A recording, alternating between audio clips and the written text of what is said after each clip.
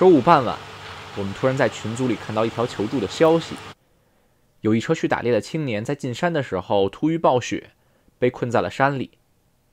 因为事发突然，我们很难组织起更大的团队去搜救。好在有一位越野经验丰富的朋友胡七刀刚刚回来，于是我们临时组织起了一个双车团队进山搜救。因为现在这雪比较大，所以我们。得要开两个多小时才能到。如果要是雪不大的时候，其实应该一个多小时就能到。这片位于科拉多州中部的森林，野生动物资源十分的丰富，其中的路网也是错综复杂。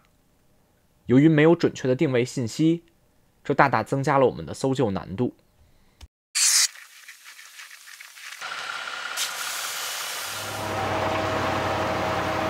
给轮胎放气以后。我们快速的进入这片森林，趁着雪还不太大，尽快开始搜救工作。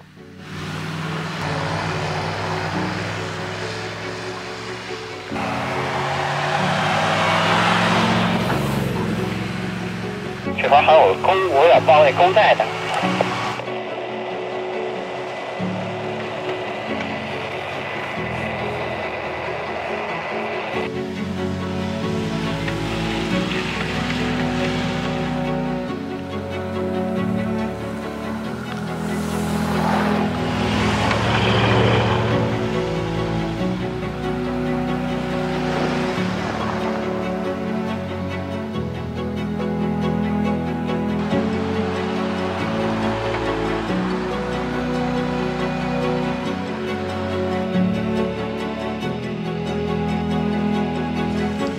随着我们深入森林，路况变得越来越复杂。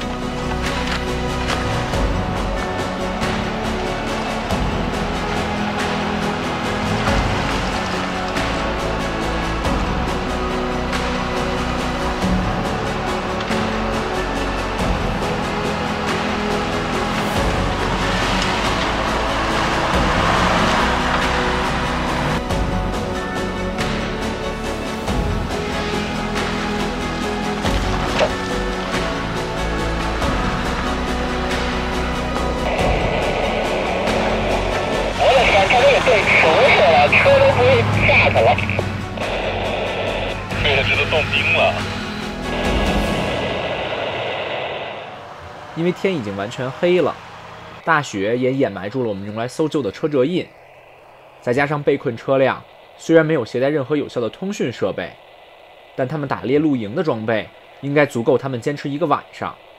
安全起见，我们决定先扎营。